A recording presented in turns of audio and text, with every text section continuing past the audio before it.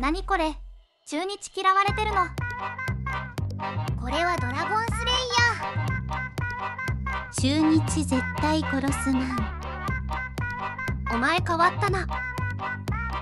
悲しきドラゴンスレイヤファイティングフェイス。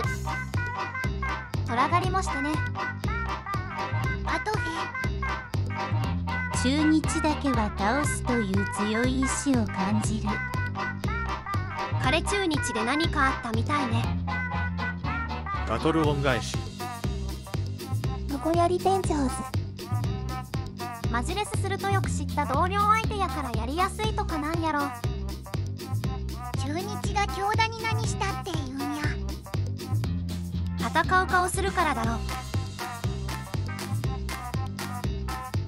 細川も横浜に強いしそんなもんやろご視聴ありがとうございました。チャンネル登録と高評価よろしくお願いします。